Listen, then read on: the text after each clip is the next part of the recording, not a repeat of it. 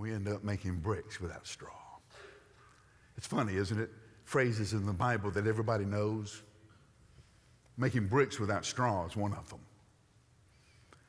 And we live in a culture that demands more and more of us, but provides less and less support. How many of you are in offices now that have less employees than when you started there? But the same amount of work is required. Making bricks without straw. I can remember, I'm old enough, this is hilarious, when computers were time saving devices. I'm not making this up. They were writing in scholarly journals and in business journals, the leading journals of the day, worried about what we were going to do with all of our spare time. That's the truth. What are we going to do with all our spare time? Now we're hearing the same kind of lie about artificial intelligence, AI. What are we going to do when the machines are running everything?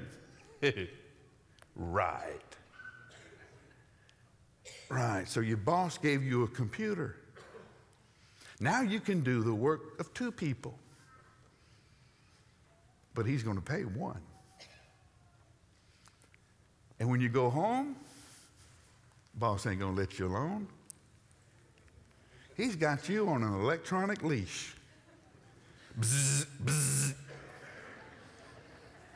And if that doesn't get you, the boss will strap it to your wrist. Bzz.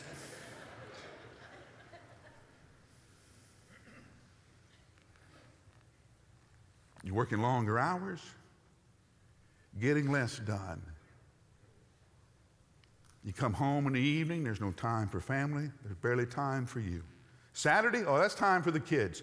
Uh, we, go, we play soccer, baseball, uh, basketball, uh, lacrosse, we have dance, we have, uh, uh, that's all day Saturday.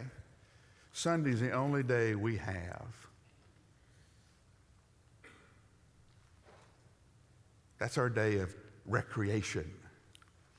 So we fill it up with football games and hockey games, and on and on the list goes. Do you know another pronunciation for recreation is recreation?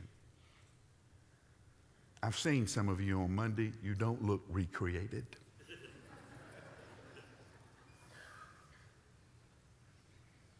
because Pharaoh doesn't want you to worship.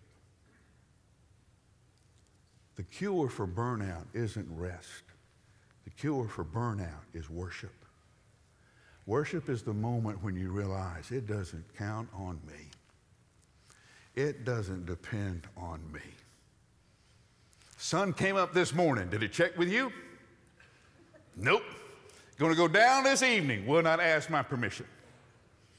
The world will attend to its orbit. The stars will stay in their place, and not one of that is dependent on me. Worship is the time where you remember that God is God and we're not. Isn't that good news? Every day you're told, boy, if you don't get this done, the whole world's going to fall apart. No, it won't. How many times have you heard just in the past week that, that if Christianity doesn't do something, the church is going to disappear from the world? Really? We've lived through Rome, we've lived through uh, Germany, we've lived through Russia, we've lived through China. We'll live through this. I can just see the meeting now where God, looking at all the angels, said, You know, I thought we had a chance, but then Mike didn't believe and, and blew everything. Come on. Worship is the moment when you realize it doesn't depend on you, and it's remember when you realize that you are loved. You didn't do anything to deserve it, you didn't do anything to earn it. He loves you because He created you in His image and He created you for a relationship with Him. It's, when, it's where you are known.